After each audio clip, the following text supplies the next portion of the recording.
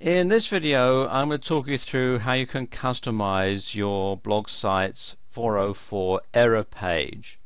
Now most themes come with a 404 error page built into them and the theme that I'm using on this site has a 404 error page that looks like this. And it's alright, but you can customize it if you wish to have your own message on there rather than the default one. And what you do is come to the dashboard and you want to go down to where it says appearance. And then editor.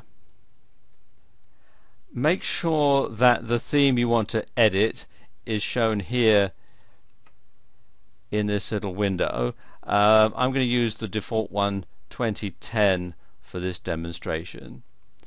And you'll see the various templates are listed here at the side. And the one that we're going to edit in this video here is this top one, 404 template, which is the file name 404php. You must make sure that your PHP files are writable on your server, otherwise this won't work and it won't save it. Uh, so if you do get an error when you save, then you'll have to go into cPanel and make sure that the PHP files on your server are writable. Okay, let's just click here on the 404 template.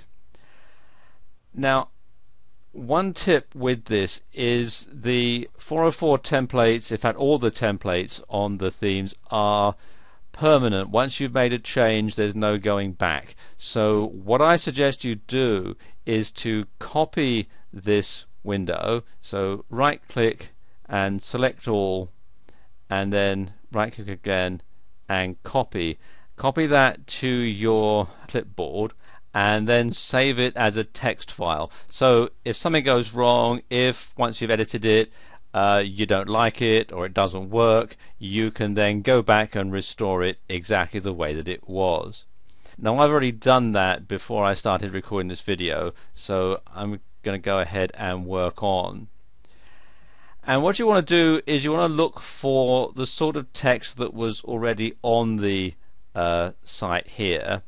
So you can see it says not found and then we've got the message and the search window and you can see the text here. So I'm going to change that.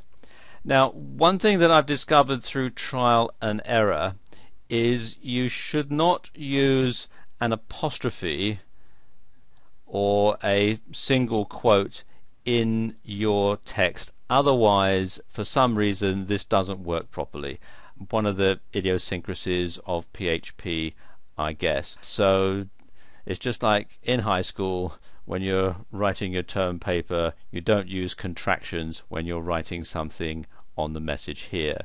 So let's just change this. Let's tell you what, let's change the whole message there. I'm just going to highlight that and delete it. And I'm going to say sorry. We could not find that page.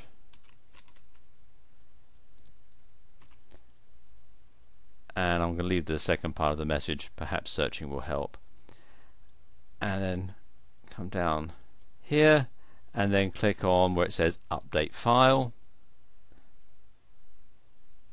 and click there it says file edited successfully now if I go back to the error page this is a a page that I've typed in that doesn't exist. And if I refresh there you go. You can see it's changed that. And you can do all sorts of things uh, on your 404 page to make it unique to your site